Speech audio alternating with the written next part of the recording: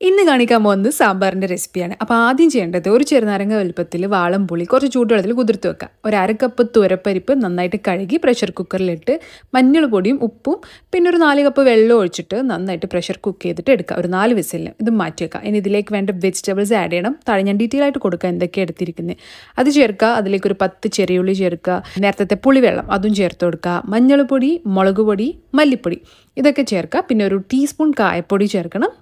ഒരു ടീസ്പൂൺ ഉപ്പും കൂടി ചേർക്കുക. എന്നിട്ട് ഇളക്കി ഒറ്റ വിസിലിന് പ്രഷർ കുക്ക് ചെയ്തിട്ട് എടുക്കുക ഒരു വിസിൽ മതി കേട്ടോ അതിനുശേഷം ഇതിലേക്ക് ഒരു ടേബിൾ സ്പൂൺ ശർക്കരയും മല്ലിയിലും ഇട്ടിട്ട് വാങ്ങി വെക്കുക. ഇനി വെളിച്ചെണ്ണയിൽ കടുകിട്ട് ചെറിയ ജീരകവും വെളുത്തുള്ളി അരിഞ്ഞതും പിന്നെ കറിവേപ്പിലയും വറ്റൽമുളകും ഇട്ടിട്ട് അത് ഓഫ് ചെയ്തതിന് ശേഷം മൂന്ന് ടേബിൾ സ്പൂൺ ഈസ്റ്റേന്റെ സാമ്പാർ പൊടി ഇട്ടിട്ട് ഒന്ന് വഴറ്റി നമ്മുടെ സാമ്പാറിലേക്ക് ചേർത്ത് കൊടുക്കുക. ഇതിനെ ഒരു അഞ്ച് മിനിറ്റ് തിളപ്പിക്കണേ. തക്കാളി കൂടി ചേർക്കാം കേട്ടോ ആവശ്യമുണ്ടെങ്കിൽ പുളി നോക്കിയിട്ട്. ഇനി ഇത് അടച്ചു വെച്ചൊരു പത്ത് മിനിറ്റ് കഴിഞ്ഞ് സെർവ് ചെയ്താൽ അടിപൊളി സാമ്പാർ റെഡി അപ്പോൾ ട്രൈ ചെയ്തൊരു ഫീഡ്ബാക്ക് അറിയിക്കട്ടോ കേട്ടോ